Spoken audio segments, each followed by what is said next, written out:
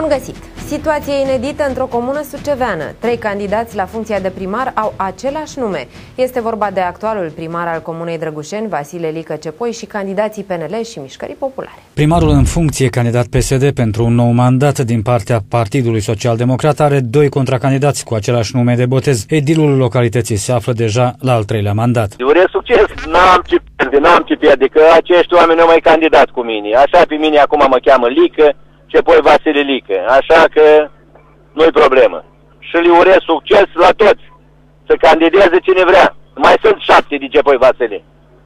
Și mai este timp. După luni de zile poate să mai vine cineva. Nu mă supăr, nu mă supăr. Candidatul e candidat. E, trebuie să aleagă, cum se spune la lege.